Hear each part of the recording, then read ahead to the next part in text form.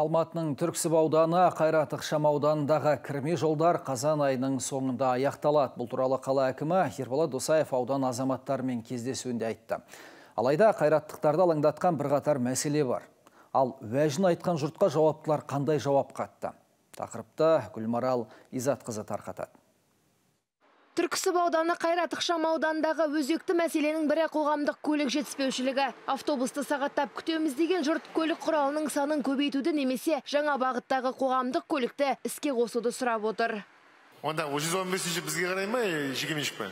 215 жекеменшік, ол сұрақты қарастыруға болады, Айша Бибі көшесіне дейін кіретін автобус. Аға, онда мен тапсырма берейін қазір мен сізге. Интервалын түсірген үшін жаңа маршрутқа автобустарды қоссын деп жаңа тапсырма беремін. Сонымен қатар Қайрат ықшам ауданның халқы қала әкіміне кәріз жүйесі мәселесін шешіп беруді сұрады. Себебі үш жыл бұрын құбырлары жүргізілгенмен іске қосылмапты. Берке жақта қаншама көп қабатты үйлер салынды, мектеп салынды. Осы канализацияны іске қоспағандықтан олардың да қазір канализациясы қайда қосып жатырғанын білмеймін ана өзеннің ішіне бір үлкен емкістер қойыпты соған тастап жатырған шығар жас қанат бар жана қайратқа мен жаңағы не болып жатқанын қалай болып жатқанын бәрін білемін оның жағынан уайымдамаңыз мынау қойып жатқан сұрақтарыңызға бірінші мынау талғат. Шынымен кәріз желілері бойынша қосылмағандықтан ол основной магистральға қосылмағандықтан осы айдың соңына дейін бітіреміз деп айттық. Екі үш жұманың ішінде жаңағы судың просадкалары бойынша угм мен бірге бірлесіп қарастырып жатырмыз бітіріп октябрьдің басында угм кіреді просадкаларға. Сондай ақ өткен ғасырдың ортасында салынған үйлерді пан еткен тұрғындар кездесуге келіп қала әкіміне өтініш айтты. Оларда реновация бағдарламасы аясында жаңа тұрғын үйге көшкіміз келеді дейді.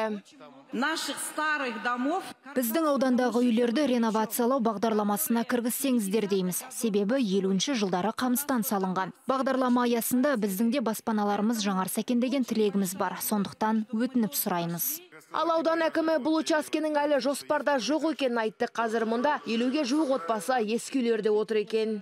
Қаладағы ескі үйлер көп аудан осы Түрксіб ауданы. Біз бағдарламаны қолға алдық. Келесі жылдан бастап қарқында жүргізіледі деген ойдамын. Мүмкін сіз айтқан үйлерді басқа бағыт ретінде қарастырып көруге болатын шығар. Келесі жылы жаңа үйге көшуіңіз де мүмкін. Их дома одноэтажные бараки. Бұл кісінің айтып отырғаны бір қабатты үйлер, елуге жоқ пәтер бар. Ал реновация бағдарламасы аясында қазір екі қабатты үйлер қарастырылып жатыр. Биыл ескі тұрғын үйлерді жаңарту бағдарламасы аясында Түрксіб ауданында 5 үй салынып, 121 отбасы қоныс аударды. Сондай ақ тағы екі учаскеде 11 тұрғын үйдің құрылыс жұмыстары жалғасып жатыр. Гүлмарал Изатқызы Сағынғали Мұңайтпасов, Алматы телеарнасы.